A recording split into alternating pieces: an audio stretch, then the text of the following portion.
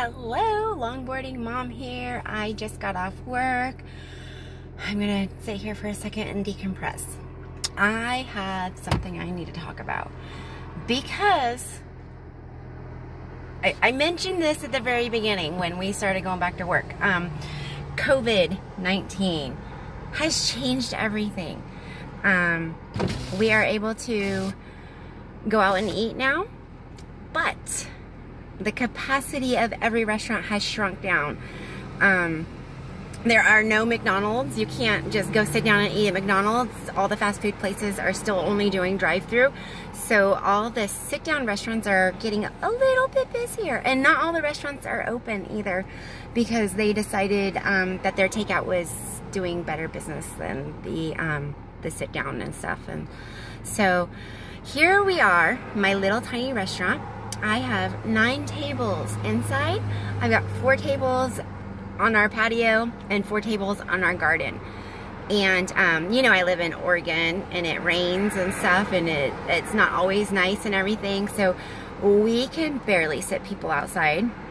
So we tried today. It was beautiful. Oh, wait, take that back. It rained this morning and then it got really, really nice. So we're like, hey, let's try to sit people outside. We're getting really busy. We don't have any more tables. People are getting antsy. And this is what I want to talk about. The patience of my customers. They don't have any. And we really, you guys really got to have some patience because us servers are doing a lot more work. Um, the bussers hostesses are doing a lot more work because we've got to clean everything in between tables and um, keep, you know, try to keep all our customers happy and everything and stuff. So it's, um, it's not that easy. And, uh, I just want to say, just give us some time. Be patient. Um, don't be so rude. If you're going out to eat um, and, and a sit-down restaurant, think about everybody else.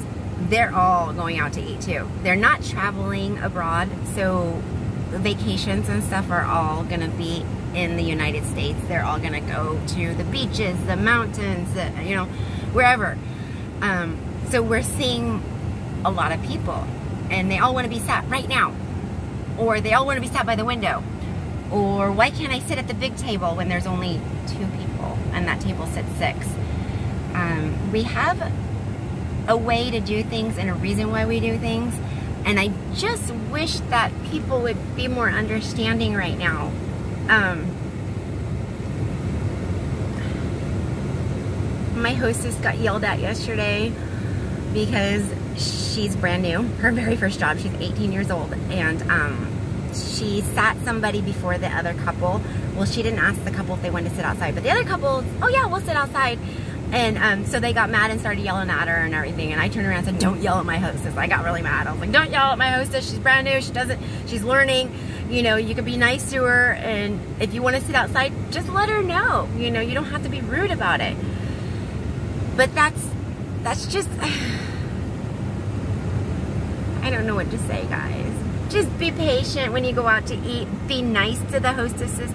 Be nice to the busters. Be nice to the servers. Um, we uh, we've all been locked down for quite some time, so we're antsy to get out and eat and, and be with friends and, and family and stuff like that. So just remember patience when you go out, okay? Because it's gonna take a little bit longer. Um, meals are gonna be great though. They're always gonna come out great as long as we're patient and we can do this. Oh, gotta go.